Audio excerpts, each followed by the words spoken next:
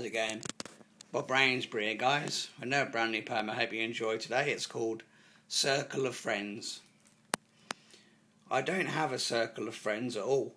I only have my family, so really a semicircle. But I now have a girlfriend I just adore. She's like my daffodil and blooms forevermore. I'm proud to be a loner, hold head up high. I have two friends who I respect and like. My circle isn't wide, but it's joyful. I'm happy as it's all I need, just beautiful. I love my girlfriend, she's gorgeousness. She is my heartbeat and all that exists. I have in my life all I could ever need. Why be selfish? And more, forget the greed. My circle of friends is more of a dot.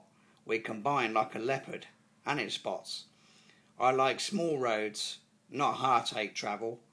My life, I'm the judge. I slam down my gavel. By Bob Rainsbury.